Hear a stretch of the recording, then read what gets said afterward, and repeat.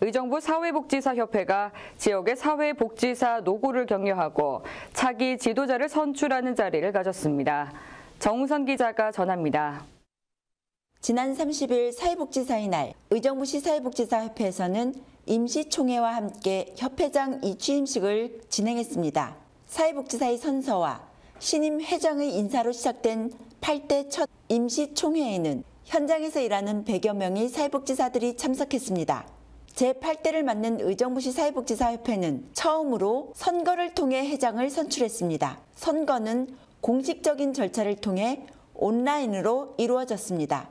의정부시 사회복지사 선거인단은 99.9%의 투표율을 보이며 8대 회장으로 박춘섭 미랄복지재단 대표를 선택했습니다. 신임 회장이 작은 도인이십니다. 제가 힘을 보탤 수 있는 부분에서 보태려고 노력을.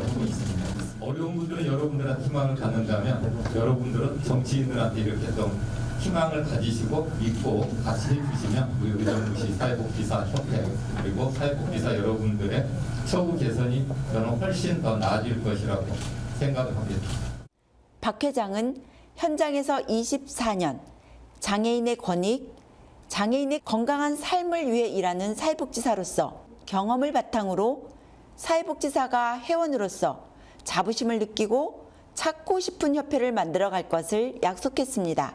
회원님들과 함께하는 회원으로서의 자부심을 느끼게 하는 회원이 찾고 싶은 협회를 만들겠다는 약속을 실천하도록 최선의 노력을 다하겠습니다.